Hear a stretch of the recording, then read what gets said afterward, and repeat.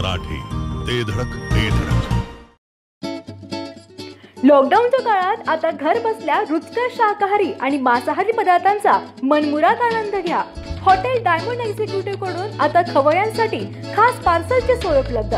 Parcel जेवणाची order देण्यासाठी अठ्ठ्याऐंशी पंचावन्न शून्य शून्य एकाहत्तर शून्य तीन या क्रमांकावर संपर्क करा. आमचा पत्ता मायनी रोड विटा. केवळ अचूक आणि वेगवानच नव्हे तर आपण पाहत आहात सर्वात लोकप्रिय कृष्णा काडसे जिओ मराठी न्यूज. आता विटा परिसरातून एक महत्त्वपूर्ण बातमी येते. पाहूयात. कोरोनाच्या पार्श्वभूमीवर खानापूर तालुक्यात प्रशासन हाय अलर्ट झालाय.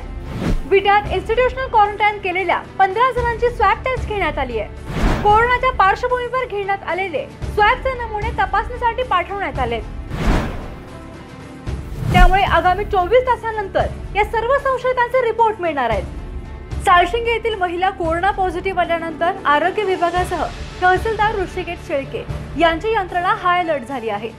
यानंतर कोरोना बाधित महिलेच्या थेट संपर्कात आलेल्यांसह सुमारे पंधरा जणांना प्रशासनाने खबरदारी म्हणून विटा येथील आय टी आय कॉलेजच्या वसतिगृहात इन्स्टिट्यूशनल क्वारंटाईन केले आहे. या पंधरा जणांची आज गुरुवारी स्वॅब टेस्ट घेण्यात आली असून त्याचे नमुने तपासणीसाठी पाठवण्यात आले आहेत.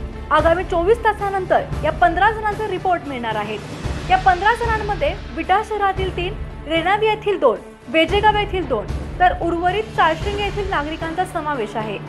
कोरोनावर मात करण्यासाठी नागरिकांनी कोणत्याही अफवांवर विश्वास न ठेवता प्रशासनाने दिलेल्या उपाययोजना काटेकोरपणे पाळणे अत्यंत गरजेचे आहे.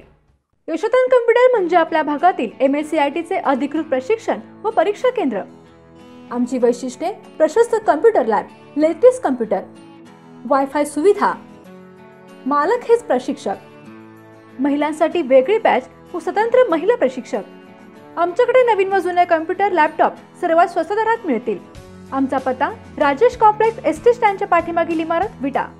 जिओ मराठी ते धडक ते धडक.